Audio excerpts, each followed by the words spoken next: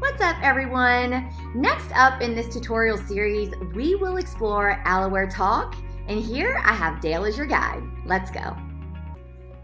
Hi, it's Dale again from Aloware. This is the Aloware Talk 2 tutorial. As you may already know, Aloware comes with two interfaces, the Aloware Admin and the Aloware Talk. To access Aloware Talk when you're using an admin account, all you have to do is to click the blue button on the upper right side of the screen. For those who doesn't have an admin account, you will be prompted to Aloware Talk as soon as you log in. There are three main practical uses of Aloware that are utilized by thousands of our users. First is the communication tabs. Second, contacts, and third is the power dialer. Under the communication tab is where you can find the general inbox, where all the interactions are stored. As you notice, there will be an open, pending, and closed columns. Open column represents all communications that require someone's attention. The pending column represents all of the outgoing communications that hasn't been answered yet, while the closed column represents a status indicating for no further actions are needed. You can also sort this out by simply looking at your contact ownership, calls, messages, and mentions. You can also use this filter if you want to narrow it down in a more detailed manner. Since we already have an understanding of communication tabs function, now let's dive into the contact tabs.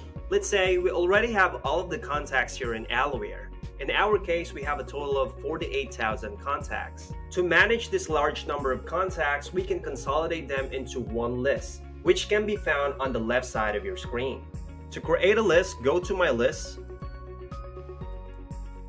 give your list a name, and select what type of list you wanted to create. It's either that you wanted to create a dynamic list or a static list. Dynamic list automatically updates based off a filter, while the static list does not automatically update. We can create a list of contacts based from these filters, whether it could be from a disposition status, contact ownership, emails contains exactly such as aloware.com. And as soon as that you're done setting up the filters, then you can hit save. Just to make sure that the contact list that you created are successfully saved into your system, then you can go ahead and check it under My List. And as soon as that you have your list created, you can start the engagement from here. So let's say I'll be talking to Kat. From here, I can send him a text message in a personalized form or by sending her a text template. And to make a phone call, all you just need to do is to click it right here. Every call interaction, it's ideal to leave a disposition. Dispositions are one of the properties in Aloware that you can use as a filter. Aside from calling those contacts one by one, we can also enroll them into Power Dialer. And take note, the Power Dialer feature only available for X Pro plan. In the Power Dialer tab, we can enroll the contact list that we created. Go to Power Dialer list and create from an existing contact list.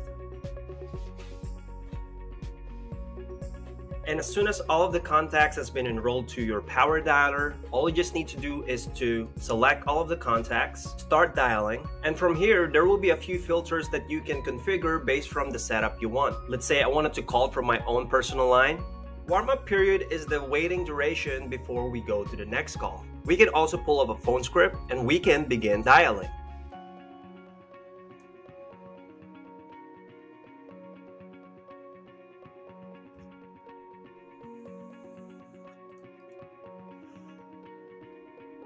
Don't forget to dispose your calls properly and you can click finish. Those are the top three features that you should know in Talk 2.